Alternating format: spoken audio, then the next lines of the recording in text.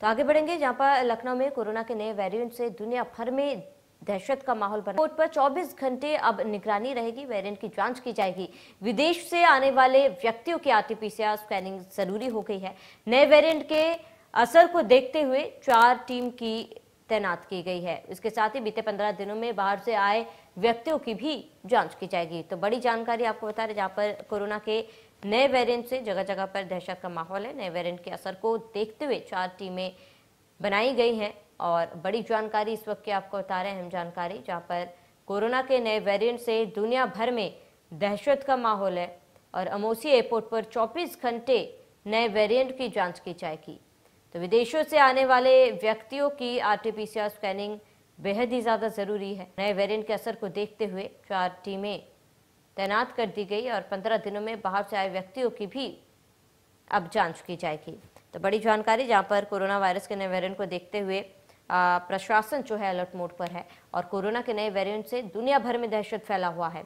Amausi airport पर 24 घंटे निगरानी की बात कही गई है। नए वेरिएंट की जाँच की जाएगी। विदेशों से आने वाले व्यक्तियों की आर आरटीपीसीआर स्कैनिंग अब मैंडेटरी कर दिया गया है। नए वेरिएंट के असर को देखते हुए चार टीमें गठित कर दी गई है। तो पंद्रह दिनों में बाहर से आए व्यक्तियों की भी जाँच की जाएगी। इस वक्त की बड़ी जानकारी आपको बता रहे हैं, जहाँ कोरोना के नए वेरिएंट से दुनिया भर में दहशत का माहौल है और हमोसी एयरपोर्ट पर 24 घंटे अब नए वेरिएंट की जाँच की जाएगी। तो विदेशों से आने वाले व्यक्तियों की आरटीपीसीआर स्कैनिंग भी ज़रूरी और नए वेरिएंट के असर को देखते हुए चार टीमें तैनात कर दी गई है। तो बड़ी जानकारी आपको बता रहे हैं, हम जानकारी से आपको रूबरू कराते यहाँ पर पंद्रह दिनों में बाहर से आए व्यक्तियों की अब जाँच होगी। जहाँ कोरोना के नए वेरिएंट से दुनिया भर में दहशत का माहौल है।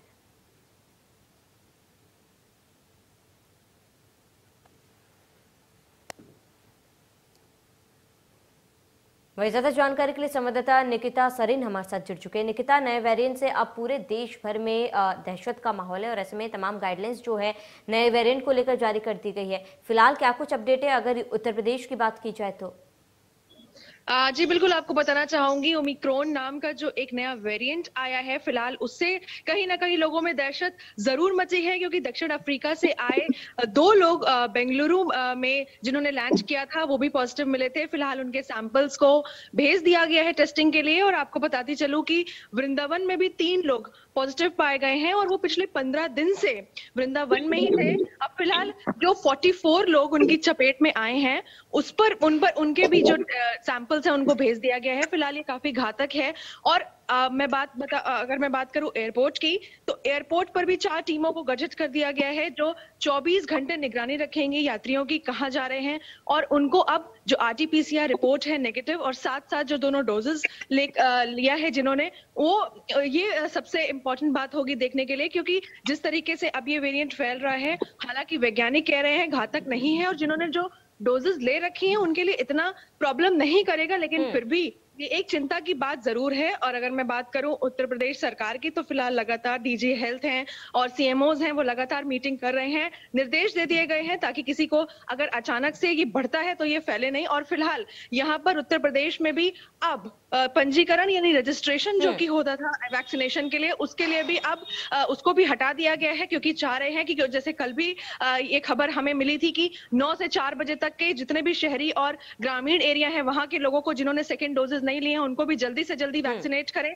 तो फ़िलहाल सरकार अपनी तरीके से पूरी कोशिश कर रही है। अब लोगों को भी सतर्क रहना पड़ेगा क्योंकि ये वायरस जो बाहर से आ रहा है ये घातक है। अब लोग जो वहाँ पर थे उनको वापस आना है क्योंकि ट्वेंटी ट्वेंटी फाइव दिसंबर की छुट्टियाँ होती हैं। हम्म, हम्म। उन्होंने अपनी जो टिकटिंग करा रखी थी उनके लिए भी एक चिंता का सबब ज़रूर बना है क्योंकि लगातार जो फ्लाइट्स हैं वो भी कैंसिल हो रही हैं। तो फ़िलहाल एक दिसंबर से ये जो नया रूल है ये बनने वाला है और उत्तर प्रदेश की योगी सरकार भी अगले आने वाले चौबीस घंटे में इसको लेकर के जो नई मीटिंग करेगी और फ़िलहाल जो रूल्स बनाएगी कि क्या कुछ हम्म। अब नया होगा इस वायरस को लेकर के। फ़िलहाल एयरपोर्ट पर जो निगरानी है वो अब चौबीस घंटे रहेगी।